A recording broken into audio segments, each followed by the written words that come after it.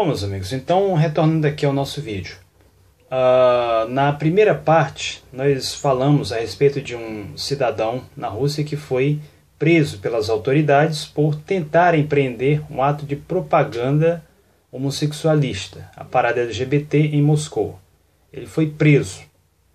Depois uh, comentei que isso se tratava de um ato de provocação e comentei sobre os métodos utilizados pela militância LGBT, isto é, de alterar coisas que você diz, né, colocando um sentido totalmente diferente. Você diz, eu sou contra a ideologia LGBT.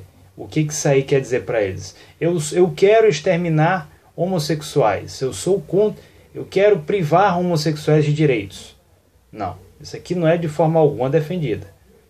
Nós sabemos que a nossa lei ela não tem nenhuma proibição com relação a a, a homossexuais, exceto, claro, no Código Penal Militar, onde é, promo, onde é proibida a prática de pederastia dentro da instituição militar, dentro, no âmbito da instituição militar. Eu sou militar da reserva, sou oficial da reserva e sei disso muito bem, conheço o Código Penal Militar. E tem o fato de que determinados atos eles são proibidos tanto para heterossexuais como para homossexuais. O sujeito, por exemplo, quiser fazer sexo na rua, quiser ficar com, com pegação, isso aí é proibido. Isso aí não é algo permitido.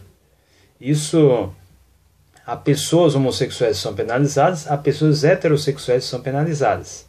Só que se alguém for querer penalizar um homossexual por isso aí, então essa pessoa rapidamente a militância LGBT cai em cima. Por quê? Porque eles não querem ter direitos, eles querem ter privilégios.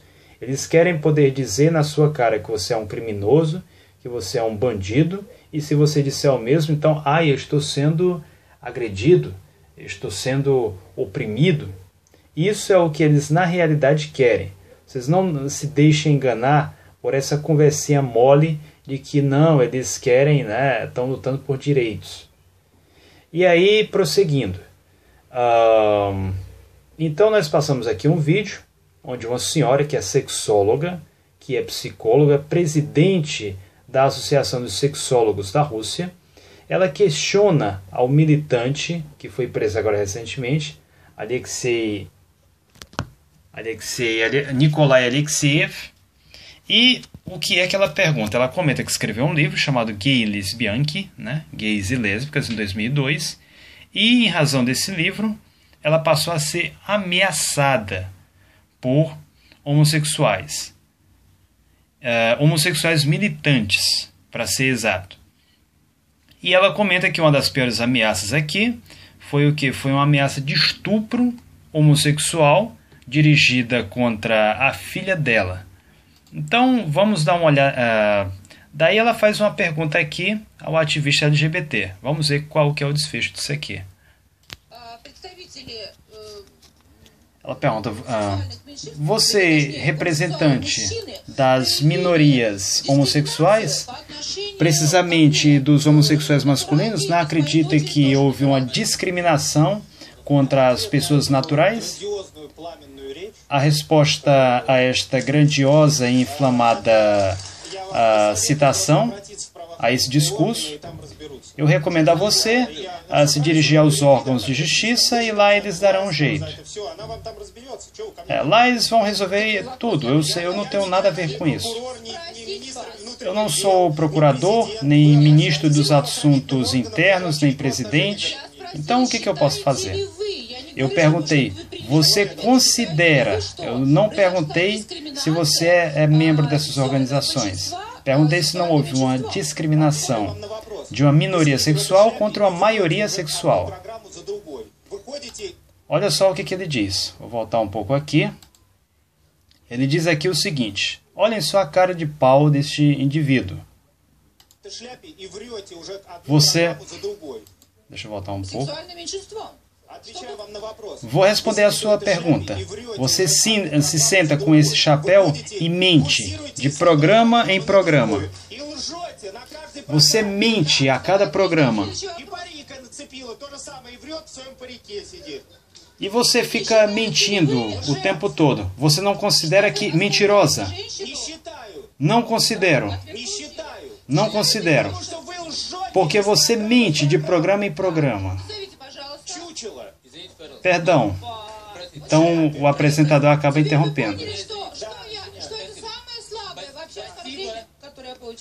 Você não acha que isso foi uma ofensa que eu recebi? Então o apresentador diz: Vocês dois são dois escritores. Então, como é que as pessoas irão votar por você? Como é que você quer ser tolerado se uma pessoa vem ao seu programa e você profere ofensas? Olha só a reação do sujeito.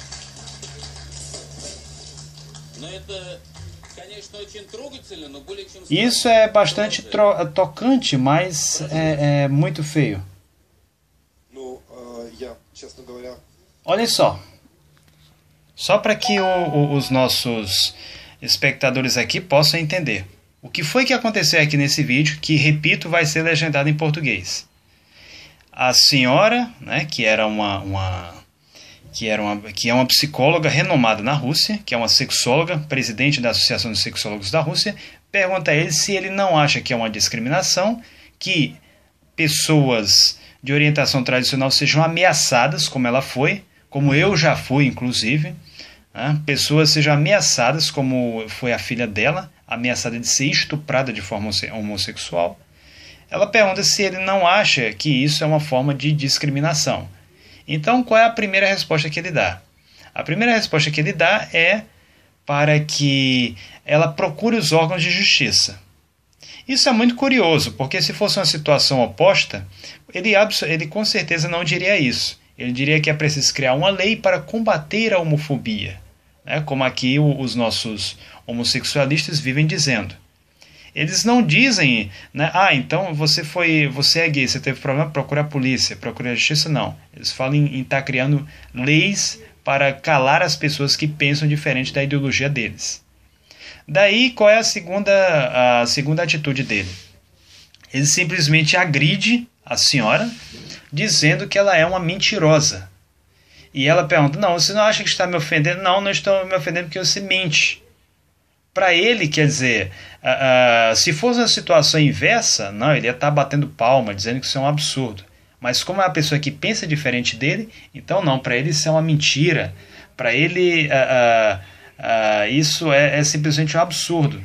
Até que o apresentador intervém na situação, pergunta: Você que é um representante de uma minoria sexual que exige tolerância e demonstra intolerância aqui, você acha que as pessoas vão votar em você desse jeito? Essa a proposta é a votação em vermelha do senhor Alexeyev, 729 votos. Do outro, que é o homossexual, mas não homossexualista, temos aqui 3.073 a favor dele.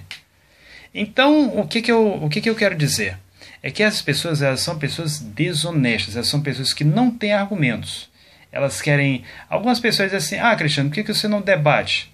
Esse debate aqui é um excelente exemplo do que acontece quando alguém resolve, uh, resolve uh, defender o uranismo enquanto ideologia política. São pessoas que não têm argumentos, são pessoas que agem apenas através da provocação, são pessoas que não respeitam você. Fico grato pela atenção de todos.